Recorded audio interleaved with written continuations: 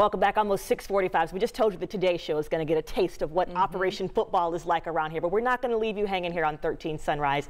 30 years of Op football, and we're, of course, getting you started early this morning. Yeah, and you know, it didn't even take the Today Show to bring all those kids out there. No. They were going to be there no matter what. So just like tonight's game of the week, the Lafayette Jefferson Broncos head to Kokomo to take on the Wildcats. And Dominic Miranda, who will be uh, highlighted on the Today Show this morning. Dom, we're so excited for that. But but also getting everything started early this morning.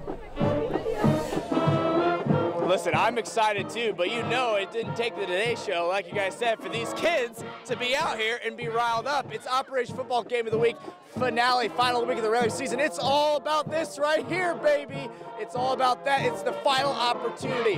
One shot, one opportunity. I feel like Eminem out here spitting bars, knees weak, arms are heavy, vomit on his sweater already. Goodness gracious, here we go. We got the band of the week, the Kokomo High School band. Listen, all you need to know as we go around this sweet circle we have around midfield, Kokomo High School, fifth ranked at 4A. They're 7 and 1. They're coming off a semi-state appearance a year ago, but they're looking for more. They're holding opponents to just 10 points per game this season. No wonder they've won seven games. They're having such a good year. The football team's out here. How about it? We have our cheerleaders of the week. They're fired up. We have our mascot. We love having the mascots out here. And look what we got here. These guys wanted to show off their talents. We got a flamingo. Oh, yeah. We're wearing a pink bathrobe, and they're trying to fire the crowd up. We love it. It's pink out night here at Kokomo High School, so we love that. Newly renovated football field in the stands. It looks like a castle, this press box. Goodness gracious, they do it right.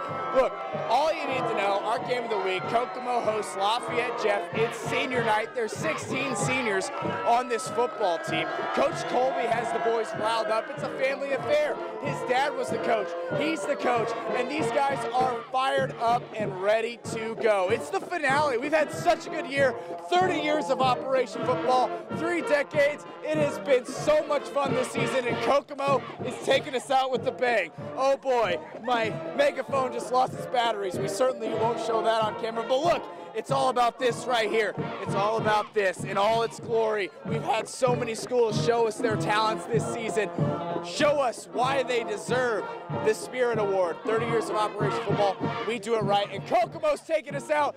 Let's do it, everybody. Come on now. Come on now. What do you want here? Take us away.